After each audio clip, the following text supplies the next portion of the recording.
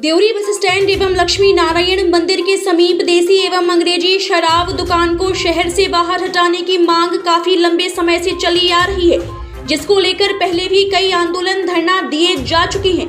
मगर कार्यवाही के तौर पर कोई उचित कदम प्रशासन द्वारा देखने नहीं मिला।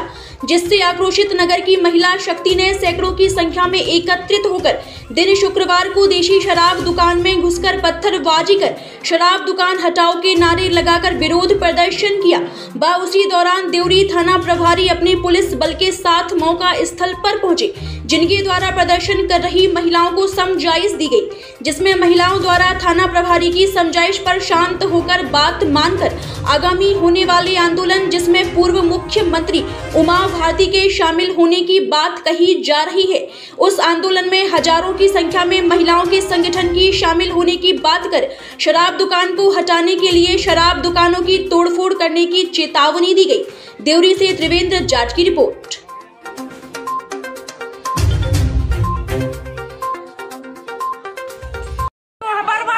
क्या करवा रहे हो तुम्हें तो लगा शर्म का चीज़ नहीं ये बुआ होना ये लठ मार हम हो रहे बिल्कुल जय सोच ली हैं?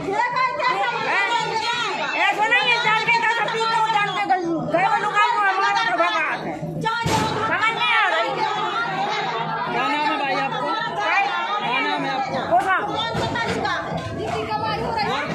हाँ सरोज रानी कहाँ से आए हो आप से। आज आप लोगों ने शराब ठेका की दुकान के यहाँ आंदोलन किया है। क्या मामला है पूरा? हमें तो उठवा ले जो ठीक। और हम तो कहीं बिल्कुल सब हो जाए बेहल बीच के काम करके आता है और तक रोटी नहीं खा पा सकता है हम तो जा कह रहे हैं सीधी बात। आज आप लोगों ने क्या प्रदर्शन किया है हटाने के लिए?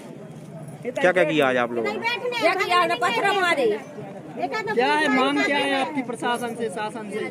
शासन से हमें कोई मांग नहीं हम तो दारू बंद हो जाए बिल्कुल। हमें कोई मांग नहीं है बस। राधा। कहाँ से आए हो काय के लिए आई हो? दारू को ठेका बंद करवा। क्या मांग है आप? आप पूरी महिलाएँ जो आई है क्या मांग है आप? जो मांगे का सावन जो ठेका कैसे हट जाए या बंद हो जाए। मेलाएँ आती है बाज़ार को। तो नहीं अच्छा लगता है। जितने की पी गया हम लोग बाज़ार जाते हैं हर हर खेत में काम करते हैं और जितनी आस सब तो दारू में रह जाते हैं। बाज़ार करते ही नहीं है नहीं है मारते हैं पीटते हैं। लोग कहाँ कहाँ कहाँ से आए हैं देवरी के हाँ। मंजूरी कर करके वैसा ही तो खाना खाना पीना। तो भाई बताना तो चाहिए ऐसे आपने पत्थरबाजी कर दी तो। कानून को अपने हाथ में कुछ महिलाओं ने यहाँ पे पत्थरबाजी की है। पहले भी ये यहाँ पर दुकान को हटाने को लेकर ज्ञापन दे चुके हैं एस डी